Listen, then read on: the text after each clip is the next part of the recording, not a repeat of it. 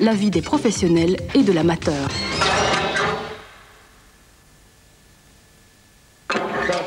How do you like? How do you like? Okay. Uh, is that a good for the tempo?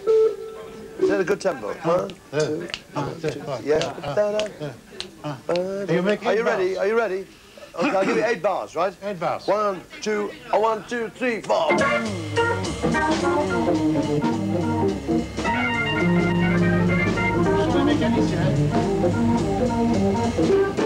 Son âge, sa fortune, son palmarès prestigieux, pour lui, peu importe. Ils sont là, bien sûr, handicap parfois, atout souvent, mais toujours secondaire par rapport à l'essentiel, la course aujourd'hui.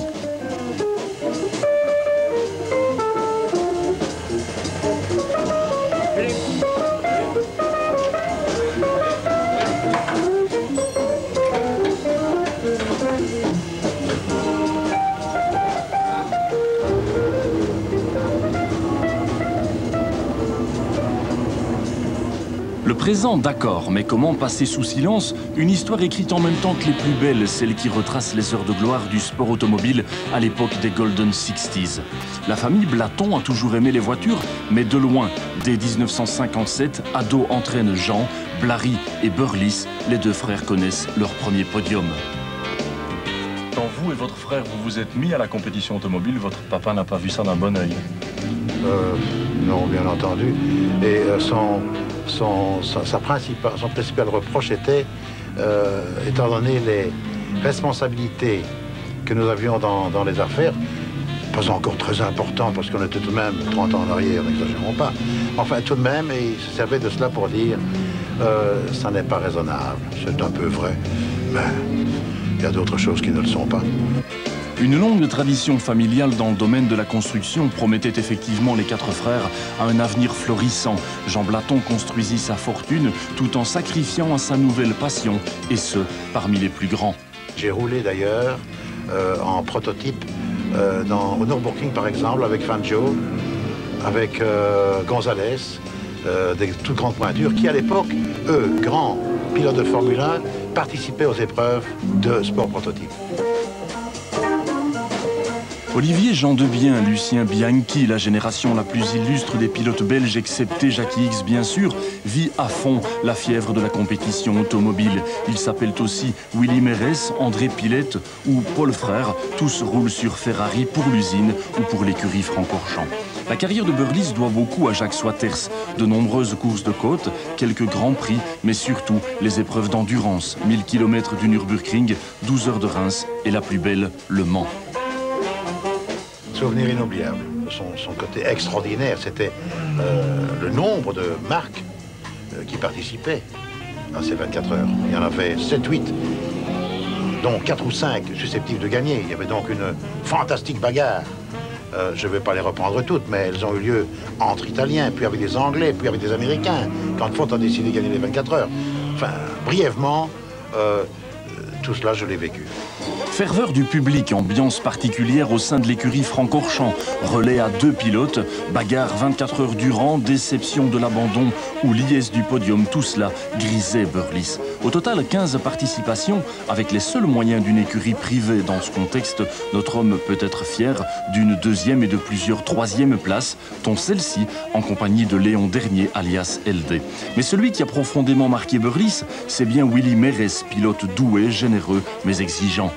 Il allait plus vite que moi, j'ai toujours tâché de réduire l'écart et euh, en faisant des efforts. Un jour, je me souviens d'un moment assez difficile, assez dur.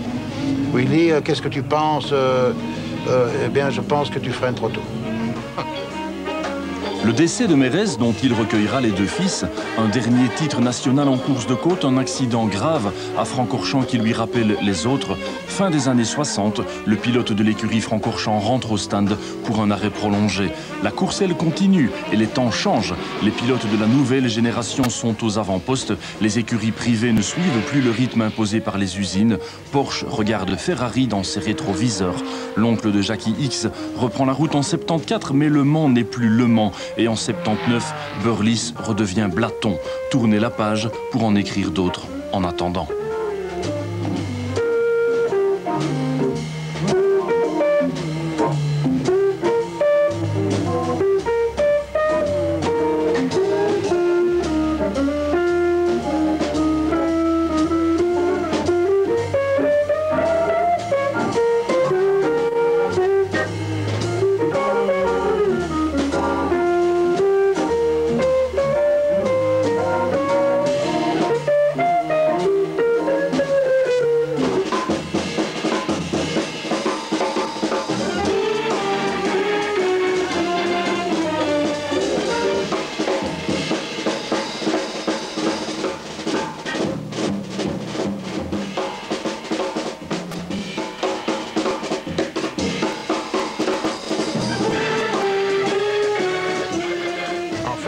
Je suis revenu euh, à partir de 85 pour moi vraiment. 8 ans de, de Xème carrière, euh, d'amateur bien entendu, mais enfin, que je fais maintenant avec des voitures qui allaient plus vite qu'à l'époque quand j'ai fait tous ces résultats. on, va, voir tout à l'heure, moi je vais... Avec quoi tu roules maintenant Avec la Lola, dans la série avec les Canam.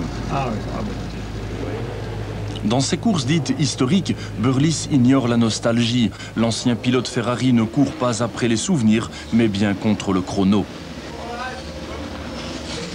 Lola, Chevron, Porsche, McLaren, BRM et autres Canam. Sa catégorie est celle des bolides frisant les 800 chevaux. Les starlettes trop lentes et trop peu sophistiquées des Golden Sixties n'enchantent plus ce passionné de vitesse.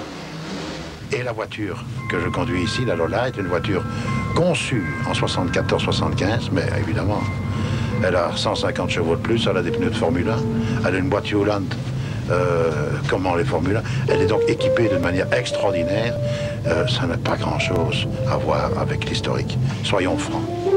Près de 30 joyaux anciens dont le brillant prenait tout son éclat en course. Destinés à la compétition, les plus vieilles ont 20 ans. Toutes seraient prêtes à relever le défi à nouveau. La Lancia Martini de Jackie X et la Rondeau de Pescarolo que le Musée national français considérait comme patrimoine intouchable.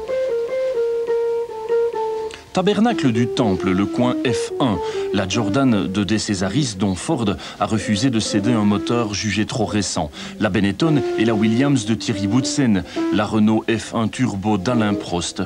Et la Wolf de Jody Scheckter, entre autres.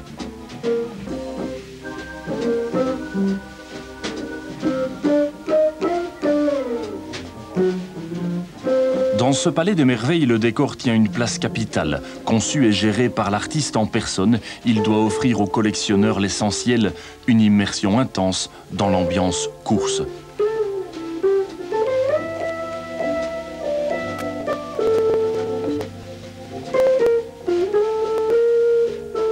À juste titre, Jean Blaton est très fier de son enfant. Ferrari 1988, double turbo, deux victoires. Cette voiture, est un privilège parce que Ferrari, bien entendu, garde la plupart du temps ses voitures et les met à disposition de son musée ou des musées en Italie.